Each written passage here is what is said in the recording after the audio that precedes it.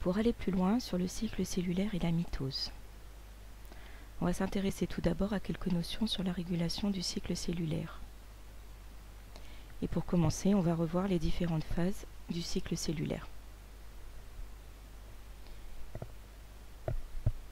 Donc, le cycle cellulaire euh, des cellules eucaryotes comprend quatre phases. Les phases S et M sont les phases durant lesquelles les cellules exécutent les deux événements fondamentaux du cycle cellulaire. La réplication de l'ADN pendant la phase S, S pour synthèse, et la division de la cellule mère en deux cellules filles pendant la phase M pour mitose. Les deux autres phases du cycle, G1 et G2, représentent des intervalles entre S et M c'est pour ça qu'on les appelle phase G pour gap en anglais interphase. Au cours de la phase G1, qui est la phase la plus longue, la cellule effectue sa croissance et va intégrer des signaux mitogènes, c'est-à-dire qui induisent la mitose et vont donc pousser la cellule à préparer la réplication de l'ADN, ou euh, elle reçoit des signaux antimitogènes qui sont des signaux qui vont empêcher la préparation de la cellule à euh, la phase S. Au cours de la phase G2, la cellule tout simplement se prépare pour la phase M. Il y a très peu de différence entre la phase S et la phase G2. Le temps est très court. Lorsqu'une cellule ne se divise pas, on dit qu'elle est quiescente. Et elle est alors dans un stade dit G0. Ce stade G0 est un stade non prolifératif. Il n'y a pas de division cellulaire. La phase G0 est atteinte en sortie de mitose. Lorsque les cellules sont en phase G0, elles peuvent en sortir et entrer de nouveau dans le cycle cellulaire. Cependant, certaines cellules entrées en phase G0 n'en sortent jamais. Comme par exemple les neurones, qui sont des cellules qui ne se divisent plus. Les quatre phases du cycle cellulaire se succèdent dans un ordre immuable. G1, S, G2 et M, toujours le même. Les trois premières phases G1, S et G2 constituent l'interphase. Durant l'interphase, le noyau de la cellule est présent et limité par une membrane. Les chromosomes sont sous forme de chromatine. À la fin de l'interphase, l'ADN est dupliqué, mais il est toujours présent sous forme de chromatine. On ne voit pas les chromosomes. Pendant la phase M, la mitose, les chromosomes sont présents et compactés. Après la mitose, les deux cellules filles peuvent soit rentrer en phase G1 et effectuer un nouveau cycle cellulaire, soit rentrer en phase de quiescence, en phase G0. À l'issue de la mitose, les deux cellules filles qui se sont formées par division de la cellule mère sont strictement génétiquement identiques.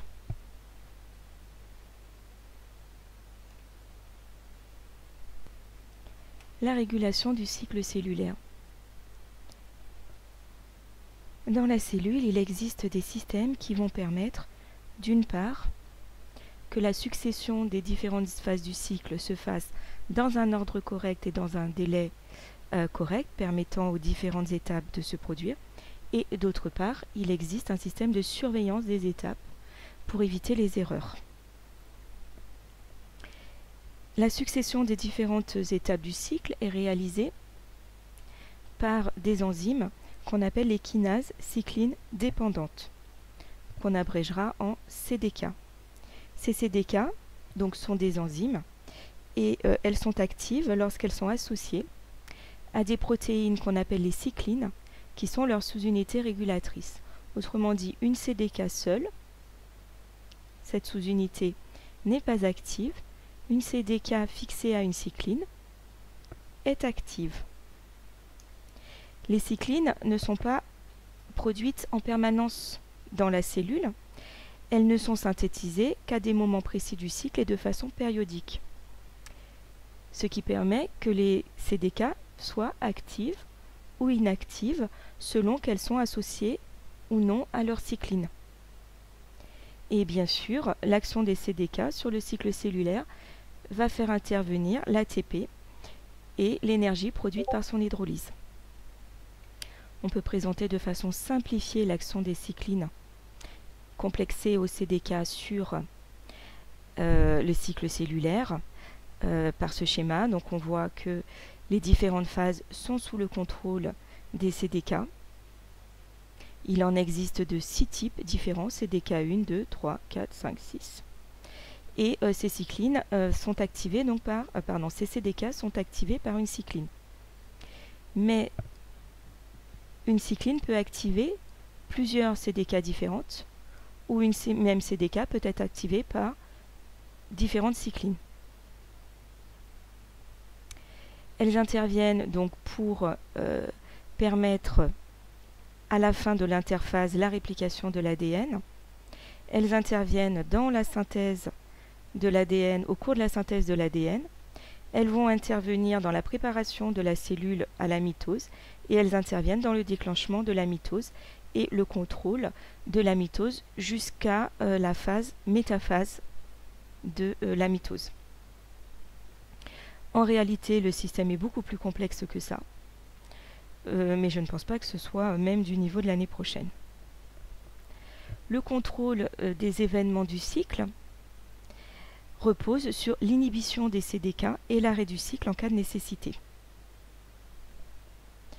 Euh, par exemple, euh, en cas d'erreur dans la réplication de l'ADN, intervient un système qu'on appelle le DNA Damage Checkpoint, qui va interrompre le cycle, ce qui va permettre aux polymérases, aux ADN polymérases, de réparer euh, l'erreur dans l'ADN, puis le cycle reprend. De même, euh, la réplication de l'ADN doit s'arrêter uniquement si l'intégralité de l'ADN a été répliquée. Pour cela, il existe un système qui va surveiller cette réplication et arrêter la réplication euh, à la fin euh, de la réplication.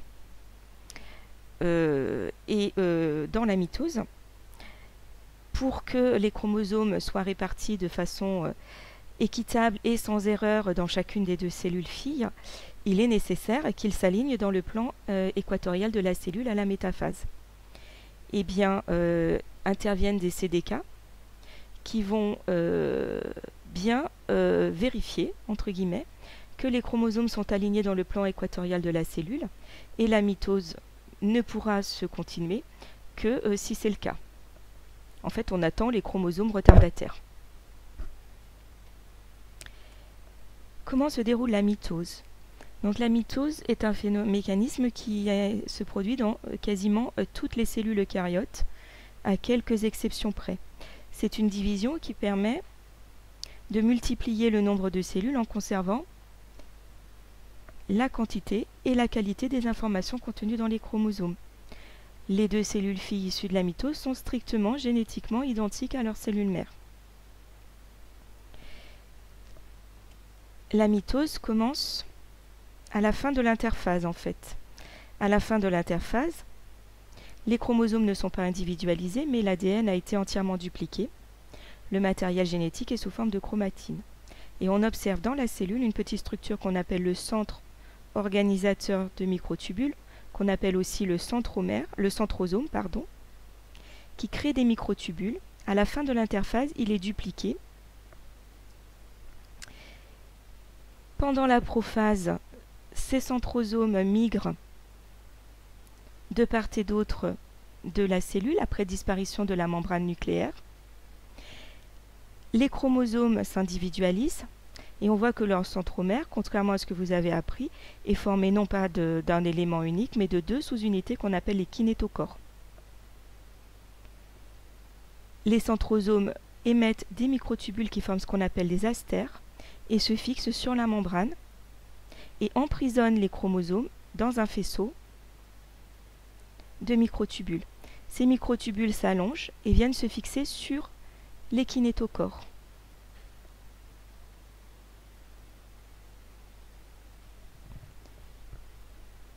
Cette fixation donc permet d'aligner les chromosomes dans le plan équatorial de la cellule, puisqu'en fait chaque microtubule ici, celui-ci par exemple, a une taille identique à celui-là. Celui-ci a une taille identique à celui-là. Autrement dit, à partir du moment où les chromosomes ont ce qu'on appelle un attachement bipolaire, c'est-à-dire que chacun est accroché par euh, un des deux kinétochores, ils sont à égale distance des deux centrosomes et donc bien alignés dans le plan équatorial de la cellule. Le système reste bloqué euh, comme ceci tant que tous les chromosomes ne sont pas alignés dans euh, le plan équatorial. En fait, les chromosomes non attachés, les chromosomes retardataires, vont émettre des signaux euh, qui vont empêcher le déplacement des chromosomes vers l'épaule de la cellule, c'est-à-dire qui vont empêcher l'anaphase. Alors sur ce schéma, c'est simplifié. On a l'impression qu'il n'y a qu'un seul microtubule. En fait, ce microtubule est formé à peu près de 15 euh, à 40 euh, microtubules.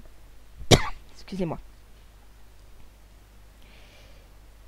Une fois que euh, tous les chromosomes sont dans le plan équatorial de la cellule, il va y avoir des réactions de dépolymérisation des microtubules qui vont tracter les chromosomes chacun à un pôle de la cellule après scission des deux kinétochores qui euh, se séparent l'un de l'autre.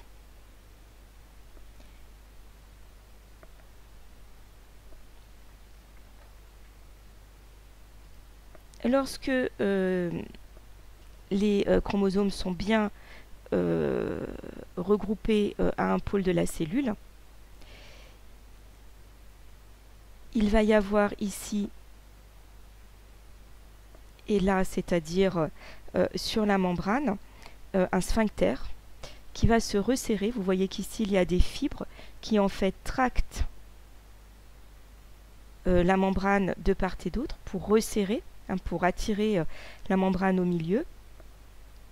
Et la cellule commence à se diviser. Progressivement, au fur et à mesure que ces fibres qui sont ici se rétractent, la division se poursuit. Les chromosomes vont se décondenser, la membrane nucléaire va se reformer et les centrosomes vont euh, finir d'éliminer les microtubules qu'ils ont émis et il ne restera que la structure principale du centrosome. On a donc à la fin de la mitose ce qu'on appelle euh, à la fin de la cytodiérèse les deux cellules filles qui sont génétiquement identiques à leurs cellules mères. Ces deux cellules filles vont donc pouvoir soit entrer dans un nouveau cycle cellulaire, soit entrer en phase, en phase G0 et euh, arrêter les divisions cellulaires.